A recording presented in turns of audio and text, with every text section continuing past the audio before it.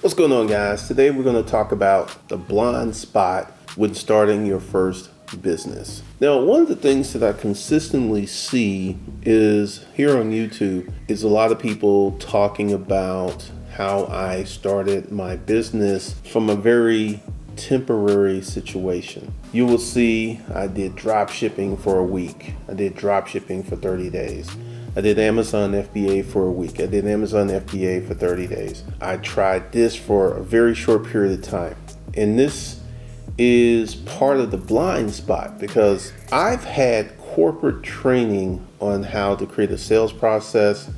And I sat real close to the owners of the business where I learned the things that it took to start a business. And let me go ahead and say something. You're not going to start a business in 30 days. You can get into the starting phase. You can get into getting your LLC, getting your EIN, getting your business bank account, getting your first business credit card. You can do all that pretty simply in 30 days or less. But what is starting your business? I'm going to give you the definition of actually getting your business started. You've got your LLC, you've got your business structure. That's real simple. That's something you can do really fast. When I talk about getting your business started, I'm talking about getting your business up, running, and making money. Which for many people could take, if it's a service business, a service business, you can literally start it in the morning and by 5 or 6 p.m. that night, you've made money service business is the fastest way to make money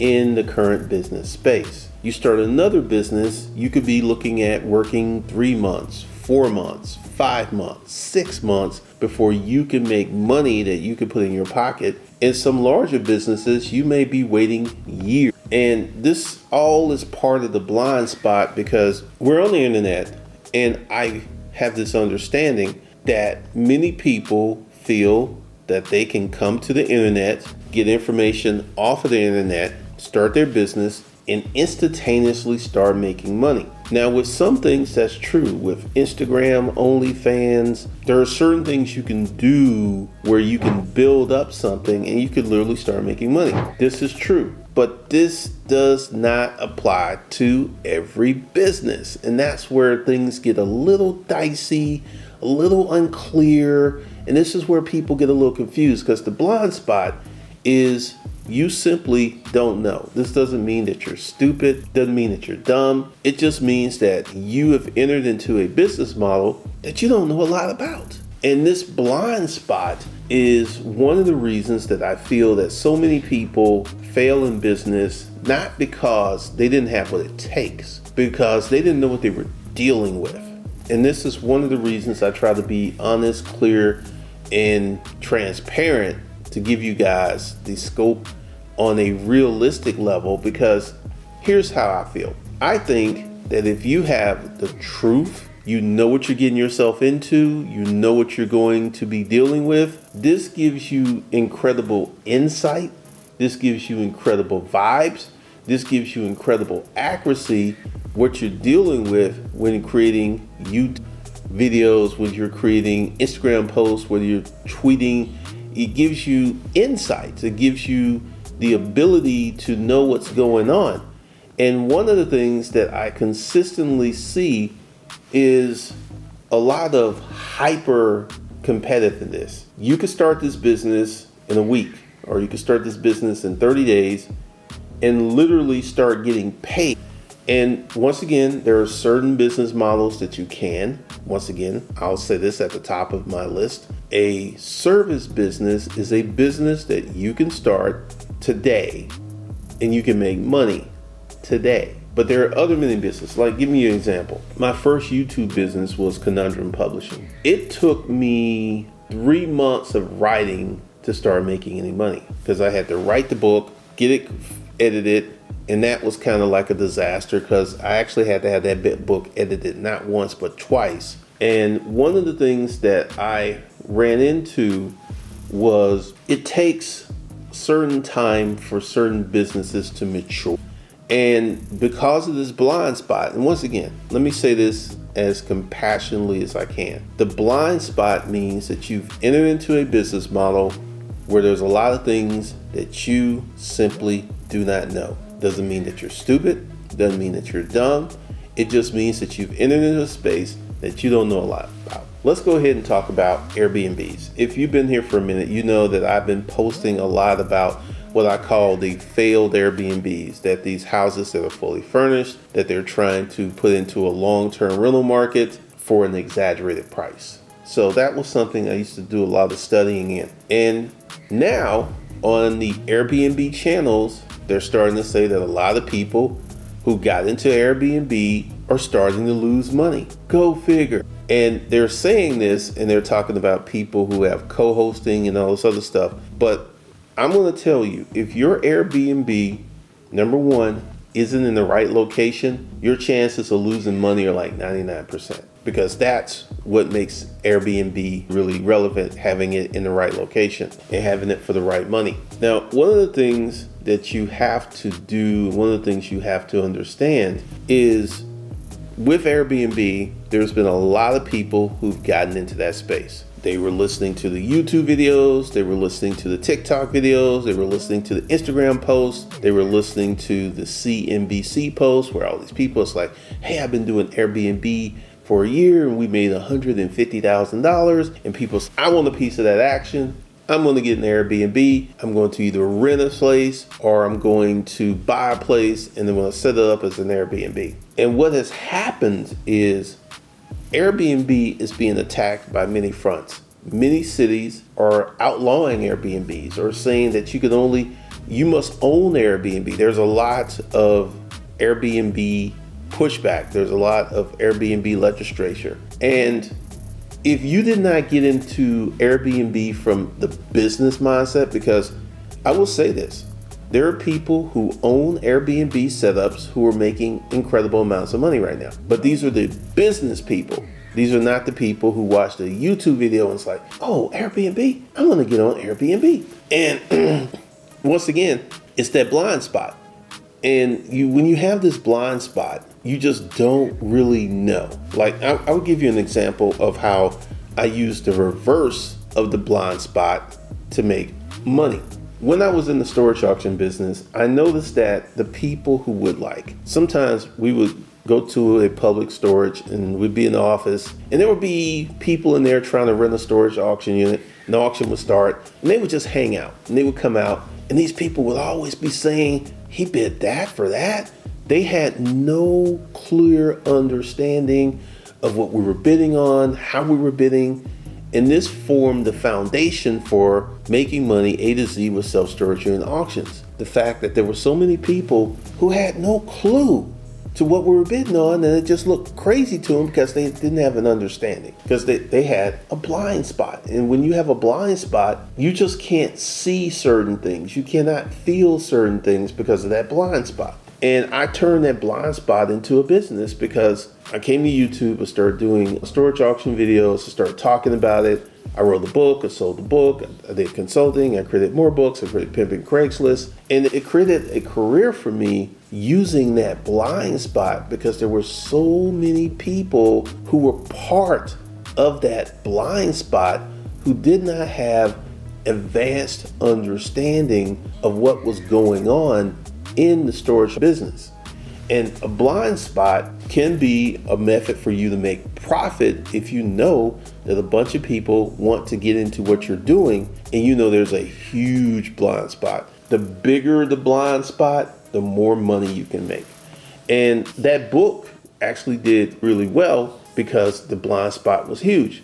Now, let's go ahead and talk about striking when the moment's hot. If I wrote that book I wrote that book 14, 15 months before the storage auction shows came on television. If I had written that book when the, you know, after the shows that came on St- Storage Wars, Storage Auction Hunters, whatever, if I had written that book after the storage auction shows that came out, I wouldn't have made one tenth of the money that I made.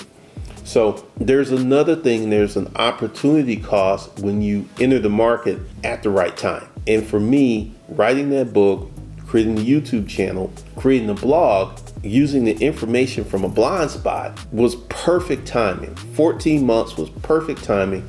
And I'm going to explain to you why. It gave me time to populate the YouTube channel, gave me time to fill out the blog, gave me time to work on the book. So I was at a point where after the shows came out and people went to the internet and it's like storage auctions, guess what they found?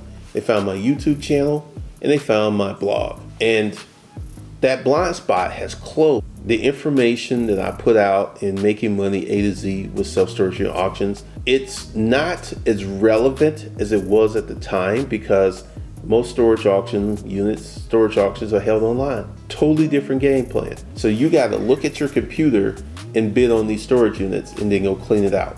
Because one of the reasons I think they did this is it saves a lot of money because you don't have to have an auctioneer. You just have people bid on it, they come in and pay, and they pick it up. So that whole business model doesn't exist anymore. It doesn't exist anymore. And for, fortunately for me, 2009, 2010, 11, 12, 13, 14, 15, that worked for seven years. That was making money from that blind spot for seven years. So blind spots can be good if you are an operator or you're a creator or you want to set certain things up. But as a operator in the business, having a, if you're aware that you have a huge blind spot, that's a plus. If you're aware that you have this blind spot, if you know that you have this blind spot, give you another case of having a blind spot. And I'll go really fast with this. When I was living in a boarding house and then I used the monster.com to get a job, I got that job and I instantly knew that I was in a blind spot. I prepared my resume, I did my appropriate interviews, got the job. And when I learned that job, when I got that job, I knew I was in the blind spot. I knew it. So one of the things that I did shortly after I got hired was order a book on how to do cold calling. So if you are fundamentally aware that you're in the blind spot, that you need a lot of learning, that you need a lot of things that you have to work on, there's things you have to build, there's things you have to put together, that's a positive. But if you're into something and you have no clue that you're in the blind spot, it's gonna hit you and it's gonna hit you really hard because there's this couple here on YouTube. They're into the Airbnb space. And they've been in the Airbnb space for two years, right? And they put out a video talking about we're going to leave Airbnb. We're going to get to self-hosting. They've been in the Airbnb space two years and they already see where this is going. They already see what's getting ready to happen. And because they are aware of what's going to happen, not this year, not maybe next year, not the year after, but year three, four, five years in the future, this is going to happen. They're starting to prepare because they are not in a blind spot. They're not in a blind spot. They're 100% aware of what's happening and they're preparing their business for this contingency that's going to happen. Because blind spots are not bad. They're not bad, but because people are in these blind spots and they're in a hurry to make money, these blind spots are looked upon as being really bad, looked upon as being really terrible, looked upon as being dangerous. And because speed, starting your business fast, getting your business up, making money, getting, that could make you totally not see the blind spot because you're trying to make money really fast. You're trying to grow your business really fast. There are so many things that you're trying to do that you are not aware of the blind spot. You're not aware of the issues. You're not aware of the deficiencies. You're just completely not aware. And one of the things that happens with this is that you get pretty much blown out the water. Like I said, blind spots are not bad. You're not stupid. You're not dumb. You're just walking. I'll give you an example. You are the smartest guy in your high school. You graduated top of your class, salutatorian, right? And then they pull this game show and then they thrust you into an operating room and you're asked to perform surgery. You're like, I don't know how to perform surgery. And you say the exact words and you win and you get out of there and you get the prize money. But essentially, you could be extremely smart, you could be extremely intelligent, and you can find yourself in the blind spot because one of the things that I feel is a truism is social media pushes the blind spots really hard. There's a lot of videos about certain business models that unless you actually sit down like low content books. That's a valid business model. And if you do it the right way, you can make money. But if you do it the YouTube way, it's going to set you up for a blind spot. It's going to set you up to fail. It's going to set you up to not be successful because one of the things I've been doing is I've been looking at what's on YouTube and I look at what gets views and what doesn't get views. A video talking about, hey, I tried this for a week I tried that for 30 days, they get the views.